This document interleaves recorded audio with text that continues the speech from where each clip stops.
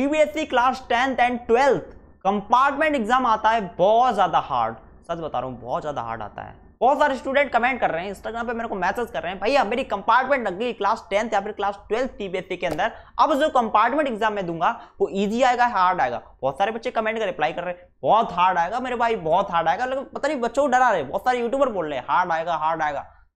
यार, डरा रहे हैं बच्चों को। मैं आपको सच बात बता दूँ देखो, मेरे भी बहुत सारे दोस्तों की कंपार्टमेंट लगी थी क्लास टेंथ ट्वेल्थ सी के अंदर। तो मैंने उनसे पूछा ईजी आता है हार्ड आता है? मैं सच बता रहा।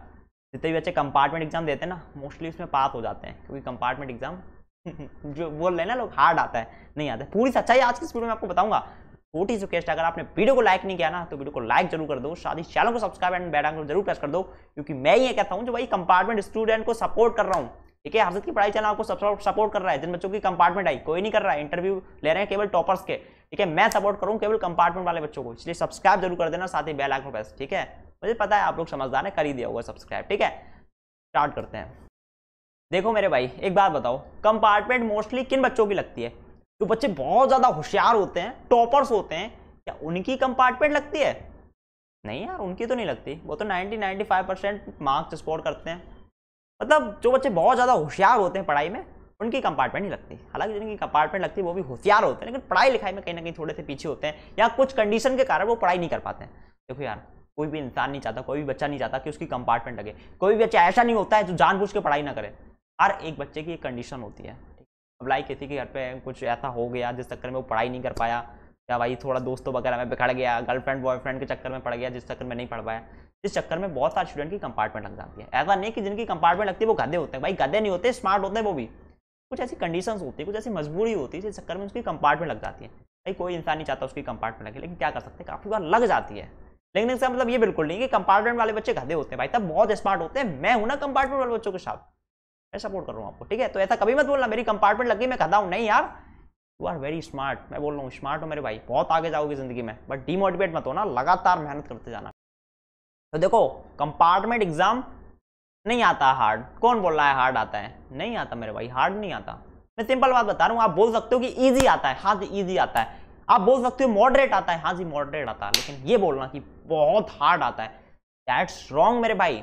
आप ये बोल सकते हो कि जिस तरीके का बोर्ड एग्ज़ाम आता है सेम उस तरीके का कंपार्टमेंट एग्ज़ाम आता है, ये बात भी सही है, लेकिन ये बोलना कि भाई तब हार्ड आता है कंपार्टमेंट एग्ज़ाम ये कहना पूरी तरीके से गलत होगा। हार्ड नहीं आता मेरे भाई। इनफैक्ट मैं अपने एक्सपीरियंस से बता रहा हूँ।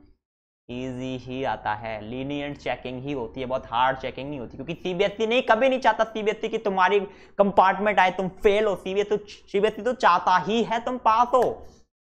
ठीक है? अब तुम कुछ लिख के ही नहीं आ रहे हो तो मजबूरी में सीबीएसई को काफ़ी बार फेल करना पड़ता है। लेकिन इतना सुन लो, घबराओ मत, परेशान मत दो इधर उधर भटको मत। पढ़ाई पे ध्यान दो कंपार्टमेंट एग्ज़ाम इजी ही आता है मॉडरेट ही आता है, लेकिन हार्ड नहीं आता मेरे भाई। तो टेंशन लेना बंद करो, फालतू का स्ट्रेस मत लो टेंशन मत लो रिलैक्स रहो काम डाउन रिलैक्स रहो, पढ़ाई पे फोकस करो। एग्ज़ाम आपका हार्ड बिल्कुल नहीं आएगा कंपार्टमेंट अभी बोल रहा हूँ गाइस जिस दिन आपका कंपार्टमेंट एग्ज़ाम हो ना, उस दिन मेरे को इंस्टाग्राम पे मैसेज करके बताना कि भैया इजी आया है हार्ड मैं बोल रहा हूँ, भाई साहब हार्ड नहीं आएगा किसी भी कंडीशन में हार्ड नहीं आएगा कंपार्टमेंट आपका एग्ज़ाम अभी बोल रहा हूँ, ठीक है?